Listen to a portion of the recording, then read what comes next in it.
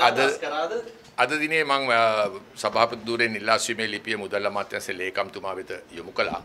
මම ආයතනයේ ඉල්ලාස් වෙන බව ජනාධිපතිතුමාට පසුගිය 9 වෙනි මාසේ 16 වෙනිදා වෙනකොට දැන්නුවා. මට ඉල්ලාස්වීමට අවශ්‍යයි කියලා.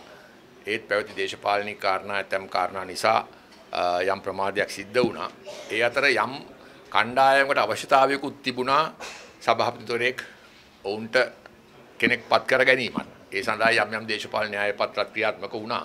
කෙසේ නමුත් ඒක අ, රට හැටියට ගත්තාම රටට හානිකර තත්ත්වයක් නිසා අ, මම තීරණය කළා මේ ඉල්ලාස්වීම අ, මුදල් අමාත්‍යාංශයේ ලේකම්වරයා වෙත ලබා දෙන්න. විශේෂම කාරණය තමයි පෞද්ගලිකකරණය කිරීම සඳහා අවශ්‍ය කටයුතු මේ වෙනකොට රජය මගින් ප්‍රතිපත්ති ඉන්දුවක් අරගෙන ඒ සම්බන්ධව කටයුතු කරගෙන යනවා.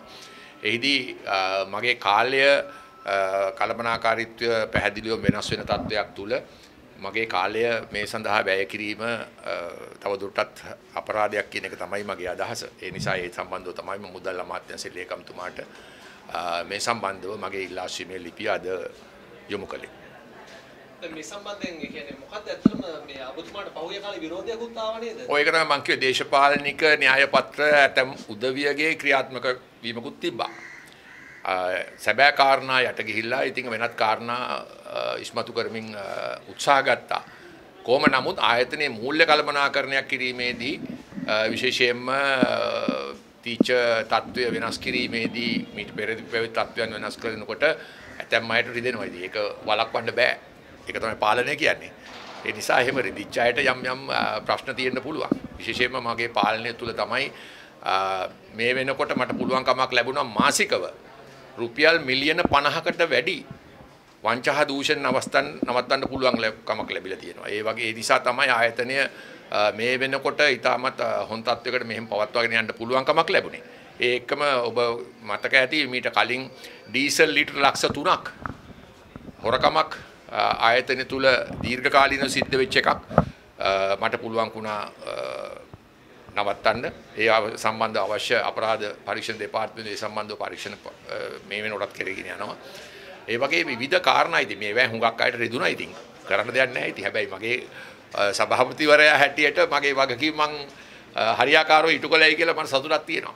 කොහොම කළත් මට ජනවාරි වෙනකම් විතරයි මගේ කාලය තියෙන්නේ අධ්‍යක්ෂ මණ්ඩලයේ අ, අවුරුදු දෙකක් කාල සීමාවක් තියෙන්නේ. ඒක ලබන ජනවාරි අවසන් වෙනවා. ඉතින් ඒ අතර පක්ෂයේ සම්මේලනය පැවැත්වුවා අපි පහුගිය දිනවල. ඒ නිසා පක්ෂයේ වගකීම් පාලක ලේකම්වරයා හැටියට වැඩි ප්‍රමාණයක් පැවරලා තියෙනවා මේ අවස්ථාවේදී ලබන අවුරුද්දේ මැතිවරණයක් පැවැත්වෙන නිසා මැතිවරණ කීපයක් පැවැත්වෙයි කියලා බලාපොරොත්තු වෙනවා. ඒ නිසා ඉදිරි මාස 8 තුල මැතිවරණ වලට මුහුණ දීමටත් පක්ෂයේ කටයුතු වගකීම් බාර ගැනීමට තිබෙන නිසා පූර්ණ කාලීනව දේශපාලන කටයුතු කිරීම තමයි මගේ අරමුණ. ඒ කියන්නේ වෙන තනතුරක් බලාපොරොත්තු වෙන්නේ නැද්ද නෑ තනතුරු දරන්න කාලයක් හිටන එකක් නෑනේ දැන් නේද මැතිවරණයක් ආවහම මේ සියල්ල වෙනස් වෙයි.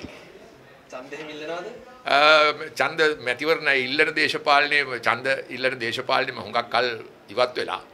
හැබැයි පක්ෂයේ දේශපාලන කටයුතු කරන එක මම දැන් අවුරුදු ගණනාවක් තිස්සේ කරන් එනවා පක්ෂයේ පාලක ලේකම්වරයා හැටියට ආරම්භයේ ඉඳලම.